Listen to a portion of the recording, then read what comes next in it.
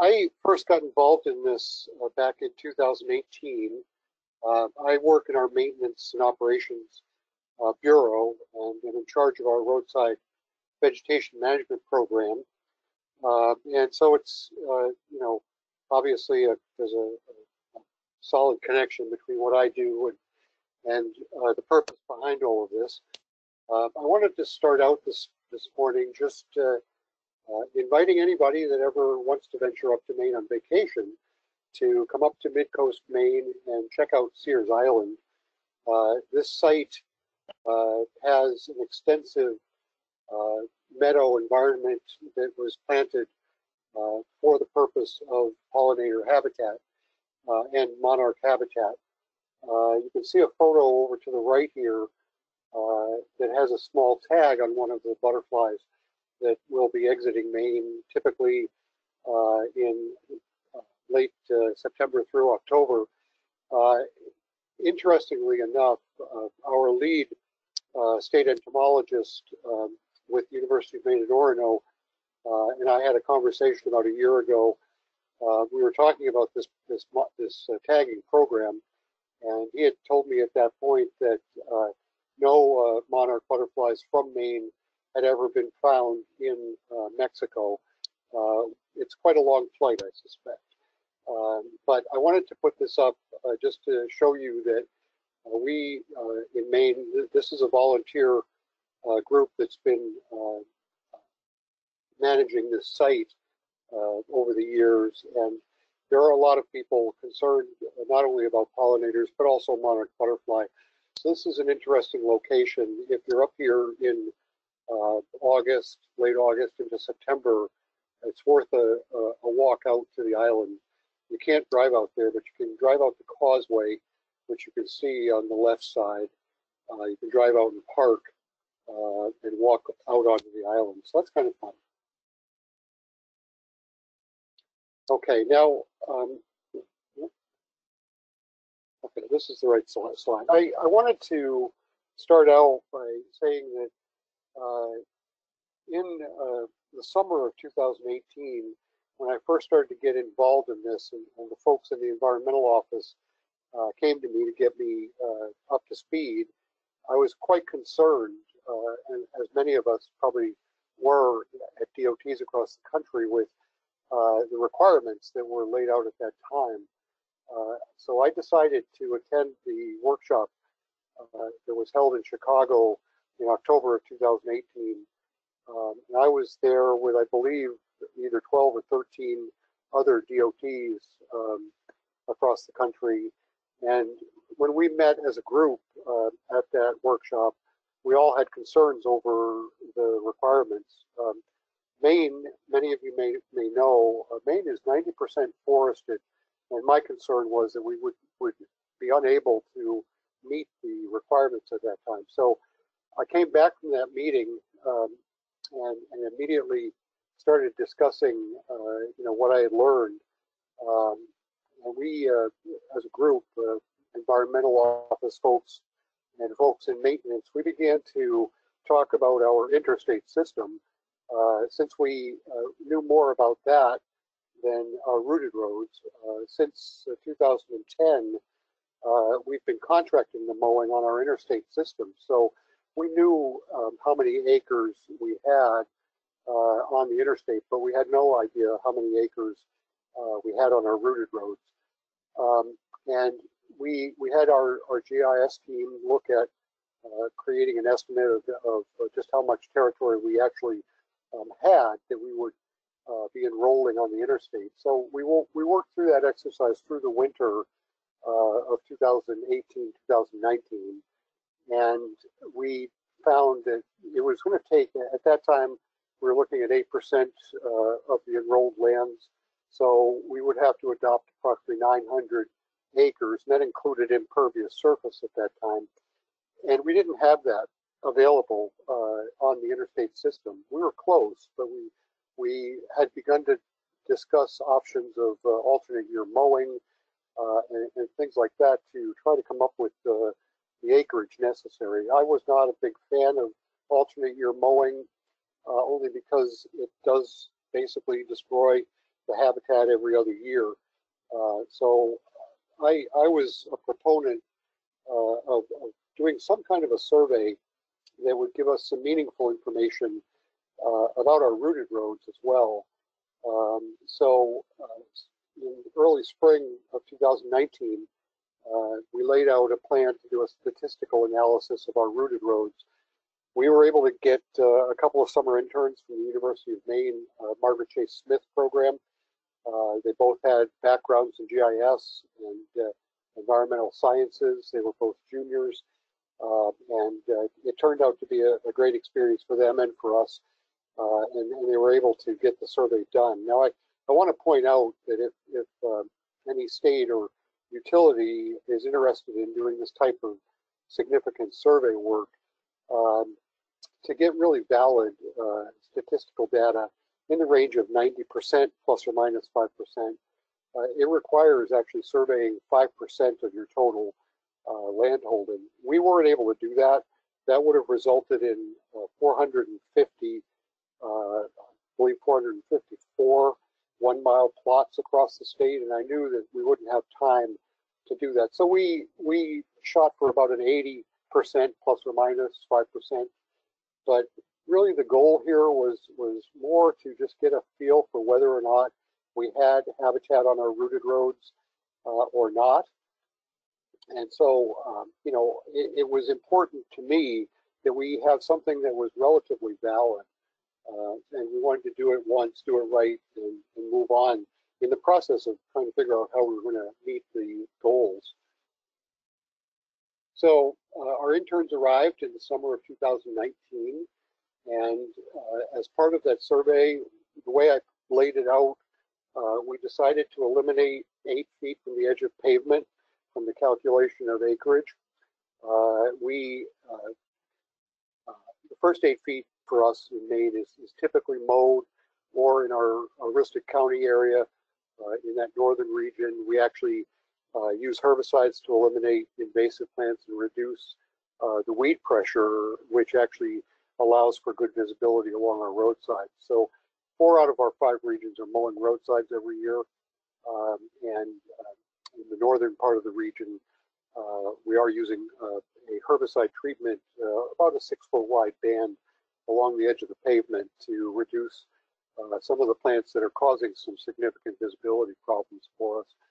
Um, so each uh, intern was tasked with determining uh, several things. They worked as a team, by the way, and I should point out that this was, uh, the way we designed it, it was a windshield survey. Uh, so uh, we ended up uh, initially with 169 plot locations.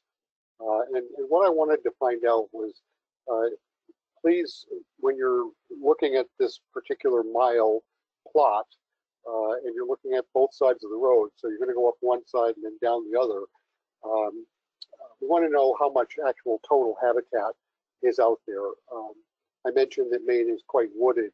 Uh, a, typical roadside for us uh, consists of a moat portion along the edge of the pavement, and then we get into uh, a relatively unmanaged uh, mid zone before we get to the tree line.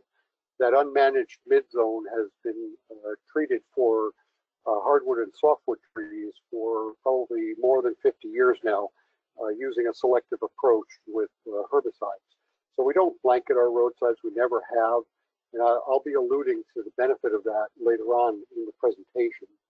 Uh, but basically, I wanted to know just how much habitat is out there, whether it's existing habitat for pollinators and, and monarch or not, because it, it was going to be crucial, I thought, to understand how much habitat we had to determine whether or not we were going to be able to meet the goals of the CCAA. Then I wanted also to know uh, how much what I call existing habitat, where we had either 10% nectar source or the presence of milkweed. So in this case, what we did, we used a photo uh, taken every tenth of a mile uh, on either side of the road. So we ended up with 22 photographs uh, for each mile that was surveyed. And then we looked at the percentage of photos showing uh, habitat, either uh, nectar sources or uh, milkweed. Um, and then I finally wanted to have them, uh, during their survey of each of these locations, observe the presence of milkweed anywhere in the mile plot. So anywhere on either side of the road, just to get a sense of whether or not we had milkweed out there. So uh, the the total acres uh, to the right-of-way lines uh, was determined prior to actually getting out in the field, uh, and we used that. Uh, we looked at every location, and I should say that in Maine we have uh, some roadside. Mo most of our roads are easement highways. We don't actually own the land, and so we're going across someone else's land typically.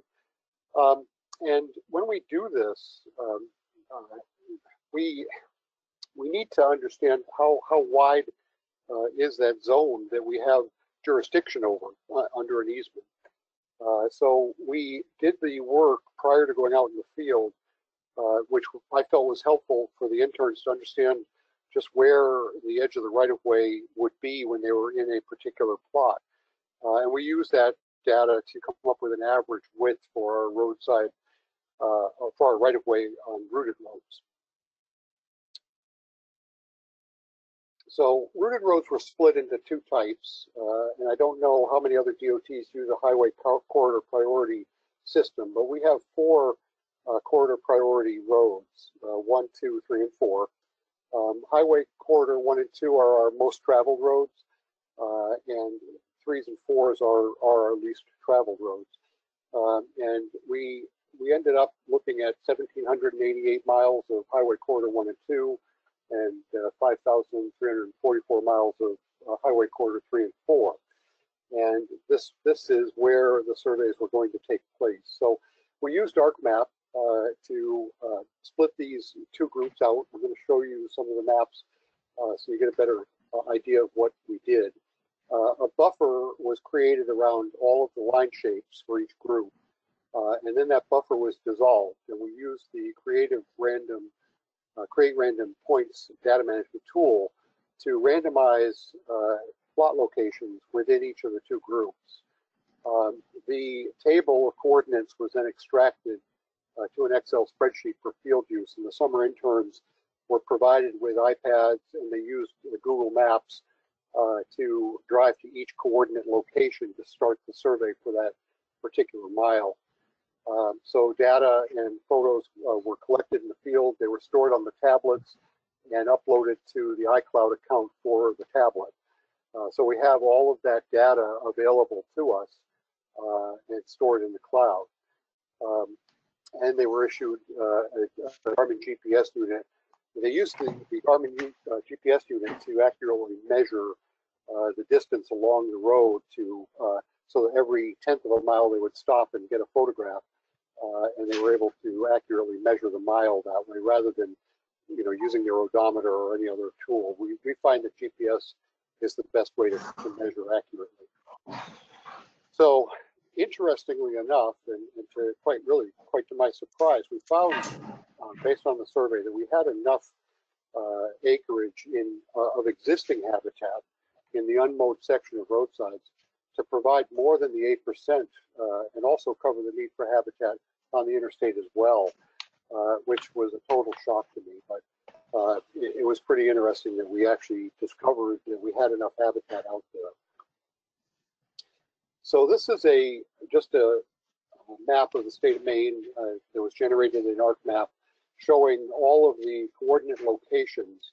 Um, I, I alluded to, but I forgot to mention that uh, 11 uh, of the 169 uh, plots we ended up throwing out because in, in those cases we had what we call prescriptive easement uh, in Maine.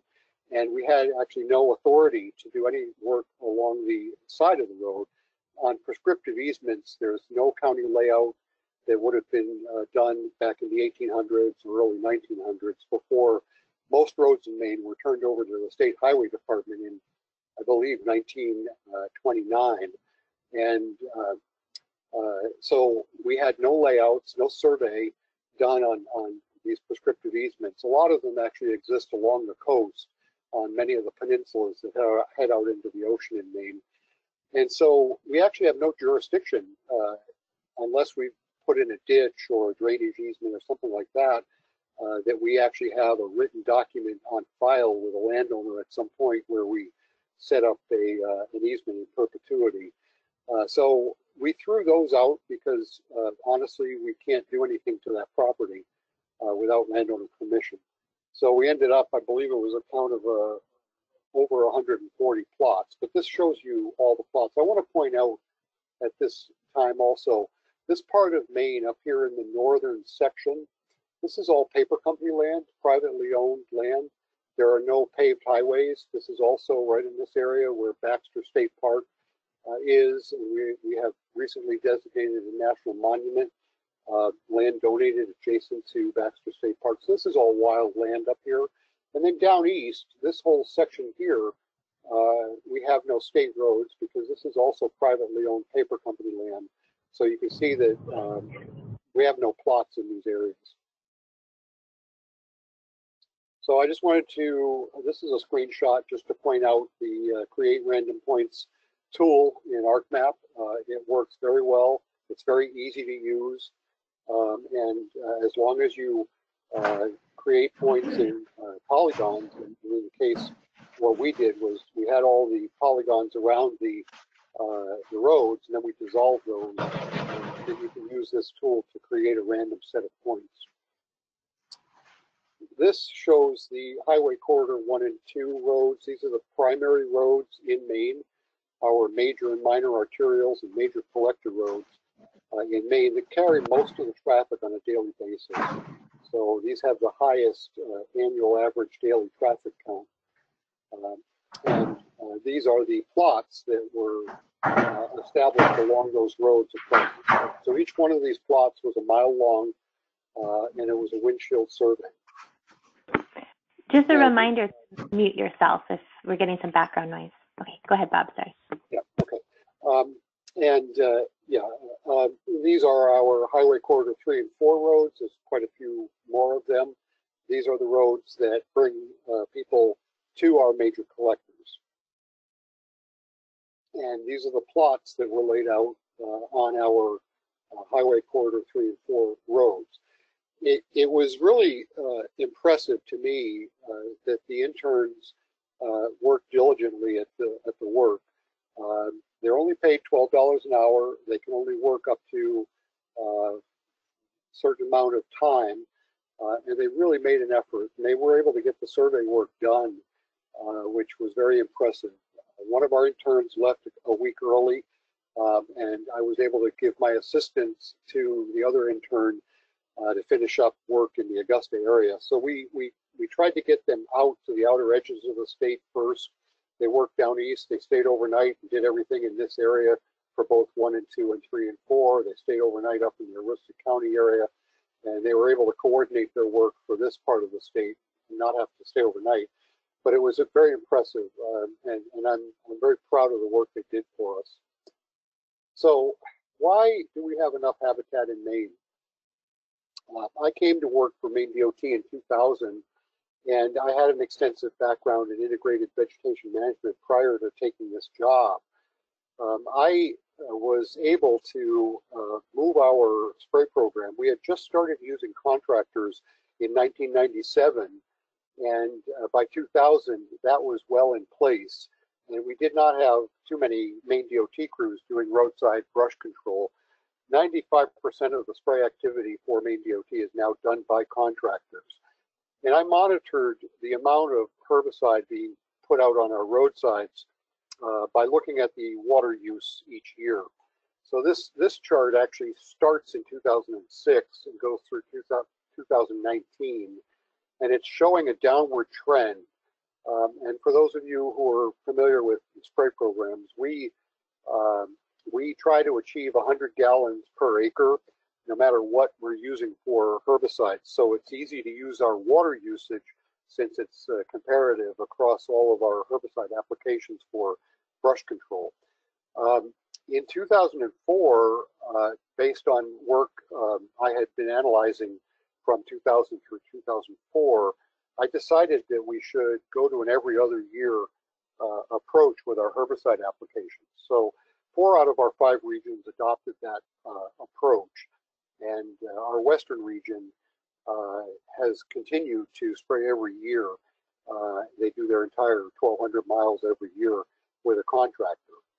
Um, you can notice a dip here in 2007 and then a, a, a spike uh, in 2008.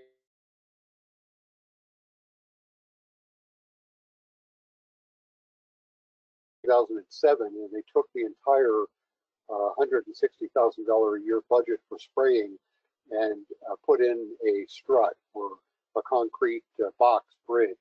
Um, and so I lost the budget that year. We didn't spray. And so the following season in 2008, you can see this spike because of the uh, extra amount of spraying that was done. But on average, this trend line shows a downward trend uh, representing approximately 30% reduction in our use of herbicide between 2006 and 2019. And I, I, mentioned earlier that our program has always been selective. We just target uh, hardwood and softwood trees. And in Maine, pesticide regulations require us to target trees, uh, softwood trees less than uh, three feet in height and hardwood trees less than six feet in height. So it's a very targeted program. We, uh, it's really old-fashioned in many respects. We, our contractors are typically riding in a one-ton. There, there's a spray applicator on the back of the truck, and they're they're literally just okay. There's a tree, spray it. They move along. There's a tree, spray it. Uh, since our concern for pollinators uh, has come along, we've also educated our applicators to try to avoid uh, spraying any nectar sources. And so this continued approach of selective herbicide application has allowed our roadsides to develop into uh, areas that are actually quite beneficial for pollinators. Um, we did a survey of our roadsides, uh, a plant survey that was done by our Natural Areas Program botanists back uh, in 2015 and 16. And uh, in 2017, uh, Frank Drummond uh, and an associate from the University of Maine at Orono uh, did a pollinator study on our system. Um, and uh, the results of that were quite interesting. A very basic uh, understanding that the more nectar sources you have, the more pollinators visit uh, roadsides. So, and that's going to be the case with monarch as well. So I just want to end here by showing you a typical roadside environment in Maine. Uh, if you look across the road uh, up in this area by this tractor trailer, you can see our mowing program is just mowing the edge of the road. And beyond that, uh, we, we don't really have any other management practice other than spraying for the small trees.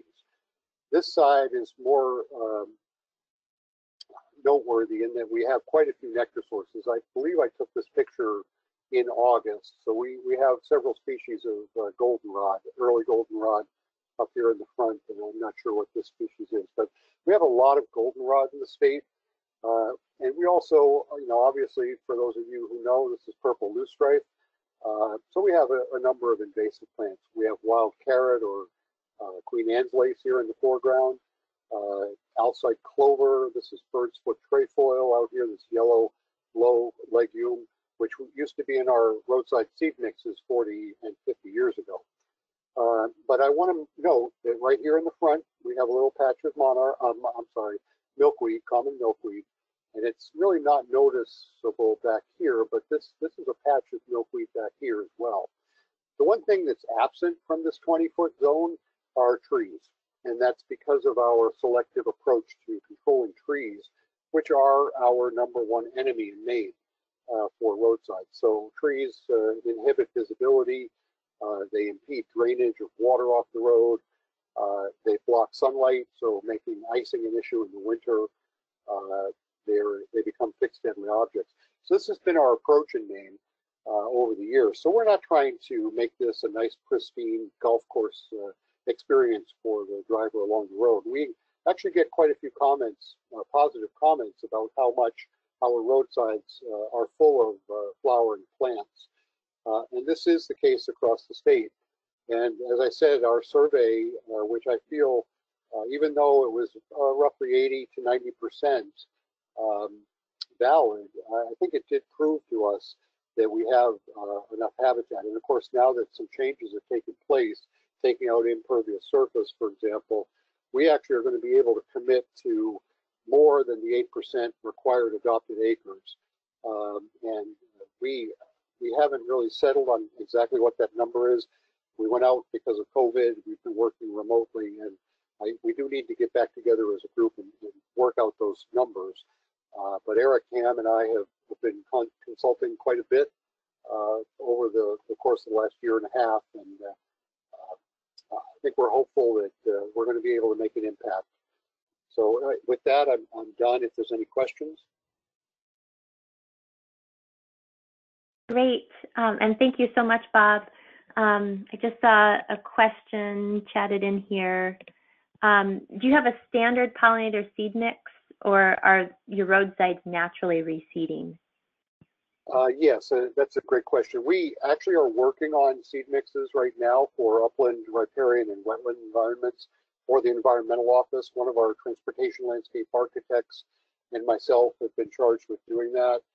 Um, I got through the exercise recently of coming up with the plants, the, the wildflower uh, species that would work in those environments. And we're, we're going to be going out to seed suppliers to see uh, if they can help us to create uh, seed mixes based on those plant lists. Um, we do not have that currently. However, we have used our special seeding mix uh, provision uh, in our standard specifications. Last year, um, I started to experiment. We had opened up about 80 acres on our interstate system, and last fall I seeded it to uh, early goldenrod, uh, black-eyed Susan, uh, common milkweed, uh, and um, uh, New England aster, uh, just as an experiment to see how well they would establish from a hydroseeding approach. And, and, so that I'm actually going to be going out tomorrow to review to see if anything's starting to come up. Uh, we don't have currently special seed mixes, but I expect that those will be coming uh, soon. So a lot of what you see in this photograph is uh, actually all of it is is naturally occurring. Um, I did a presentation at the Northeast Wildlife uh, in Transportation Conference in 2018. It, the focus was on pollinators in roadside environments, so I was asked to speak. The one thing I, I said at that time was if we leave it alone, they'll come home. Uh, we, we do know from experience that mowing uh, eliminates a lot of our native uh, wildflowers. They, they don't tolerate mowing very well at all.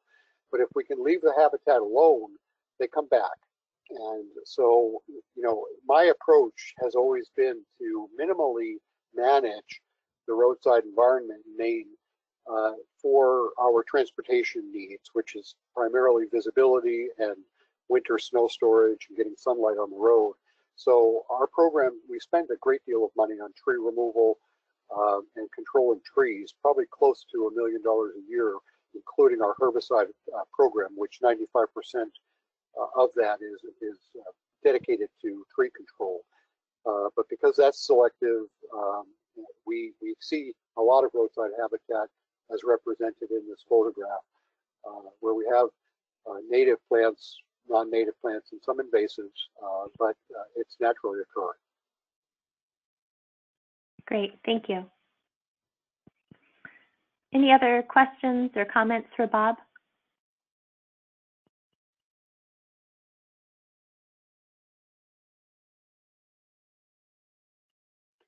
I should say, uh, once we get those seed mixes uh, established, we're not going to be able to put them in our standard specifications uh, until, uh, I believe, 2024.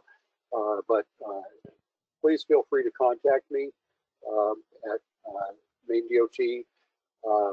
and if we do have those seed mixes established, they should be useful throughout New England and the upper Midwest as well it, it, did take quite a bit of uh, work researching, working with um, experts uh, in the field to develop the list. And now we, we need to actually give that to seed suppliers and, and find out what they can provide us and come up with some seed mixes uh, that actually will be standardized for us moving forward.